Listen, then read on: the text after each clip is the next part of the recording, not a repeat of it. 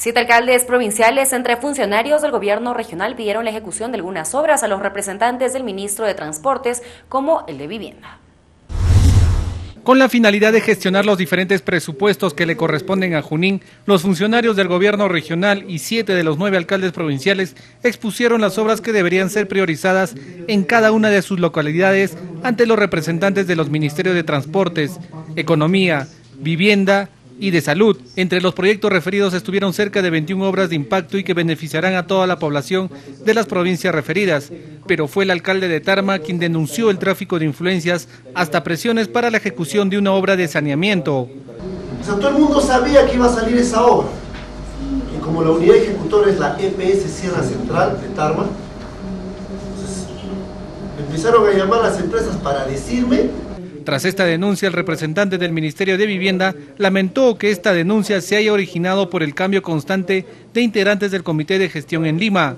Este, se coordinó con sus ingenieros y cada vez que se coordinaba venían con diferentes ingenieros. Por eso se les recomienda que van ingenieros sanitarios y especialistas.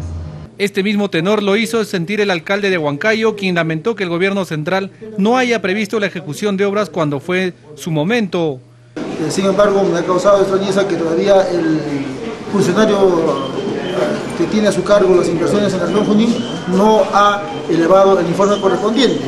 Sin embargo, fue el representante del Ministerio de Salud quien cuestionó que el proyecto del Hospital de Neoplásicas tenga cuatro observaciones, sumado a ello la falta de médicos especialistas en la región. Estamos porque ahora oncólogos no tenemos, ginecólogos, oncólogos en Montaña no hay. Entonces, estemos viendo ya la manera de poder estar buscando la formación ya de especialistas, ¿no?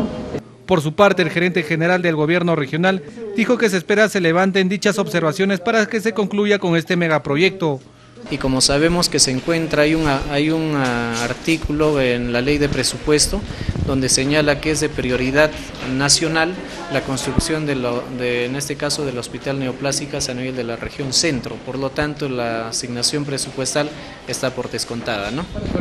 Solo esperemos que este 9 de marzo todas nuestras autoridades no pierdan el tino para exigir al presidente de la República lo que le pertenece y corresponde a Junín.